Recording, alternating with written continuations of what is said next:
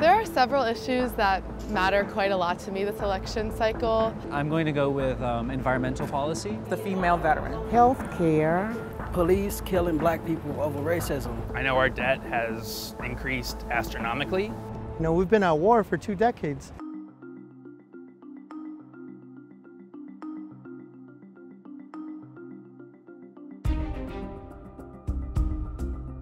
I identify as a transgender American, um, so those rights are really important to me. It's really important that everyone has equal access to good health care. Health care is important to me because a lot of health healthcare discrimination impacts trans folks. Currently, um, it's as if people are being discriminated against based on their income.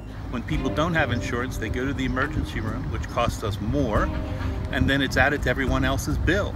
The most important issue to me is the female veteran. There's no reason why when I go to the VA hospital, there are all these homeless vets outside. Why? I was witness to a, a veteran suicide recently. Suicide in the, in the veteran population is outlandish. We're all trying to feed ourselves, we're trying to raise families, and we're trying to live, live in peace. Now, I think we're going to have to watch who we allow to come into the country. Because of all the drugs that we have problem coming into the country. I think diversity is really divisive.